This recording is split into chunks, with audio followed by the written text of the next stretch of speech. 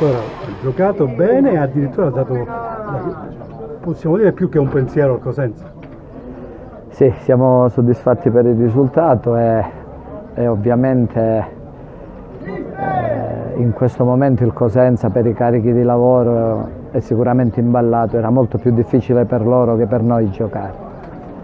Sono contento dei ragazzi, c'erano tante persone in prova e, diciamo che hanno superato tutti la prova dal nostro punto di vista.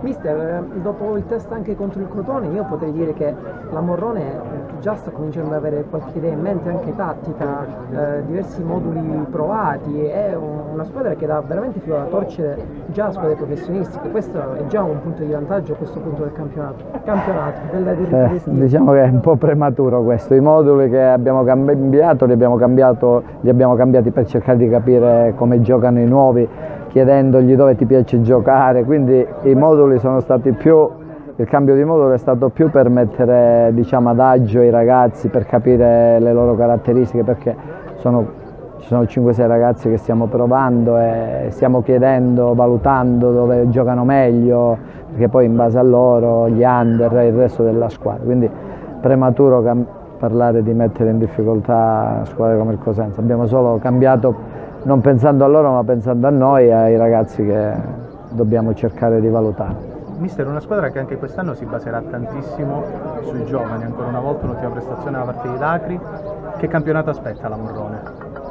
Eh, sicuramente ci aspetta un campionato difficilissimo e il fatto che eh, siamo giovani, una squadra giovane ci avvantaggia in questo tipo di partite, ma poi in campionato sarà tutt'altra musica, no? però ovviamente io sono contentissimo di allenare i giovani, con me sfondate una porta aperta, voglio questo tipo di squadra. Insomma.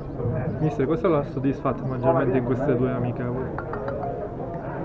Eh, allora, questo è un gruppo che ancora non è un gruppo, per forza di cose, no? però dimostrano di avere, diciamo anche per età, per, per interessi, dimostrano proprio di essere abbastanza di ragionare in un solo modo, no? cioè, sono tutti ragazzi che alla fine hanno voglia di mettersi in prova, in, in luce, e, sono molto amici fra di loro anche se hanno difficoltà a scambiare, a parlare tra di loro perché uno parla argentino, uno è sloveno, uno è croato, cioè tanta difficoltà, però il fatto che l'età sia più o meno quella, tutti giovanissimi veramente li, li rende omogenei in questo e, eh, questo sicuramente se, se poi le scelte saranno confermate sarà magari un vantaggio per il prosieguo.